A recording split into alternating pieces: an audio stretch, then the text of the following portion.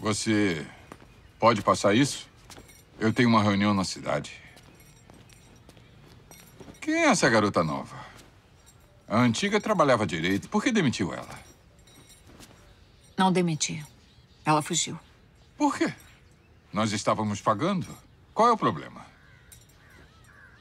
Ela era paga para trabalhar na cozinha. Não no quarto.